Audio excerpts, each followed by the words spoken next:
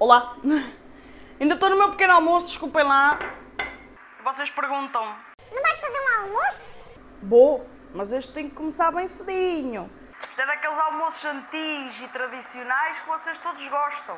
E aí de alguém que fuja à tradição. Eu espero não fugir, eu espero respeitar. Vou tentar, porque eu também não conheço a receita a 300%. Mas no vídeo de hoje vocês já conseguem ver vinho, cebola, crabinho, alho, batata aqui a cozer à parte, mas isto é à parte, à parte, não é junto, não tem nada a ver, mas vai acompanhar depois no prato. Banha de porco, pimenta, sal, carne. E carne de quê? Perguntam vocês. Calma, já vos digo. Deixem-me só dizer o último ingrediente. Plural. Que carne é que vocês acham que aqui poderia estar, né? Da região de onde me encontro. E vocês... Mas estás na capital universal na capital da... Estou na zona da chafana, que é aquilo que nós vamos fazer hoje. Interpretem como quiserem. Bora lá!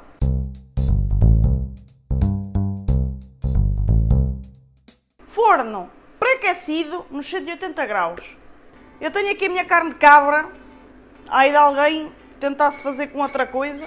Carne de cabra aqui dentro. Olha, eu lamento se eu não tenho caçola preta, tenho caçola de barro, serve também.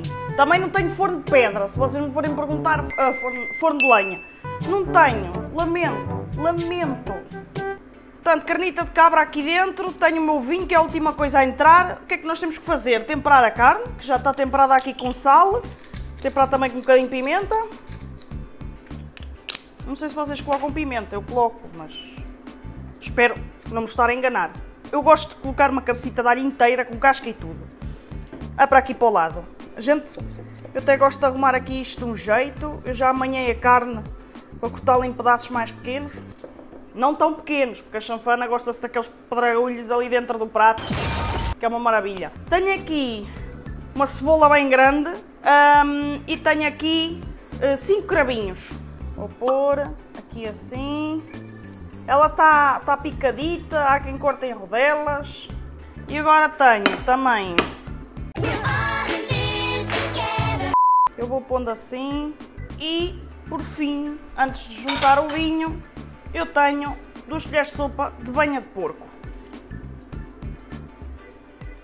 E agora, a última coisa para levarmos ao forno é o tintol. Tintol bom da região da Bairrada.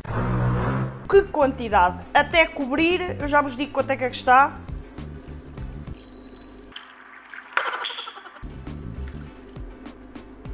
Perfeito! Mesmo coberto como eu queria. Esta embalagem leva um litrito e meio, portanto é isso que eu pus. Que horas são? 10h39? São 10h39. Olha eu pensei que era mais tarde. Pronto, antes de levar ao forno, já tenho aqui preparado. Vou pôr um bocadinho de prata, está bem?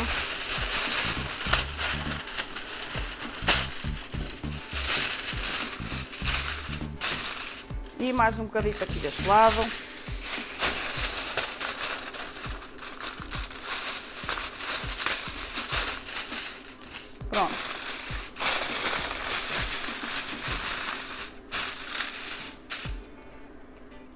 E já voltamos. Tchan, tchan, tchan, tchan. Já vai derreter é o silicone. Esperemos que não. Uhuhu. Maltinha.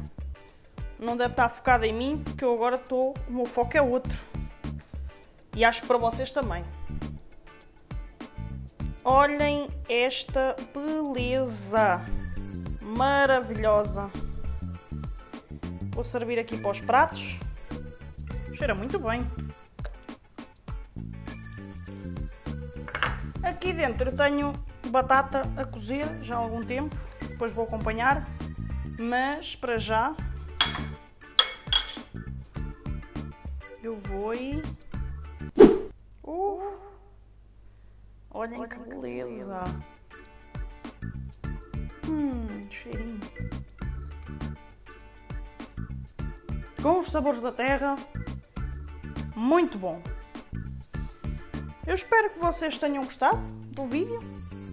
Subscrevam o canal, deixem o vosso like, partilhem com quem quiserem esta maravilhosa receita, deem a conhecer as nossas maravilhosas aldeias, as maravilhosas terras aqui em redor, como esta maravilhosa chanfana, com essa maravilhosa vista, com tudo maravilhoso e do melhor. Num próximo vídeo haverá mais novidades. Talvez nos mantenhamos nesta cozinha tradicional. Vamos ver o que é que nos espera. Até à próxima!